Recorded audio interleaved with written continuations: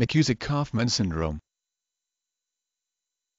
McKusick-Kaufman syndrome, a genetic disorder in which there is buildup of fluids called hydrometrocolpos in the vagina and the uterus as a result of a membrane across the vagina which holds back the cervical fluid secreted in response to the mother's hormones during pregnancy. Boys with this disease have the opening for urine on the underside of the penis hypospadias. Other features in both girls and boys include extra fingers and toes polydactyly and heart defects at birth congenital heart disease. The McKusick-Kaufman syndrome MKKS is more common in the Amish but also occurs in all other populations. About 1%-3% of Amish in Lancaster County, Pennsylvania carry one mutated copy of MKKS gene. They do not have the syndrome. To have the MKKS, a child has to inherit two copies of the gene, one from each parent. The protein predicted by the sequence of the MKKS gene appears similar to the chaperonin family of proteins. The chaperonins protect cells from damage by reshaping abnormal proteins. Protein processing thus appears important during the fetal development of the limb,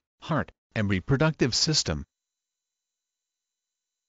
MC KU S I C K K A U F M A N S Y N D R O M E. McKusick-Kaufman syndrome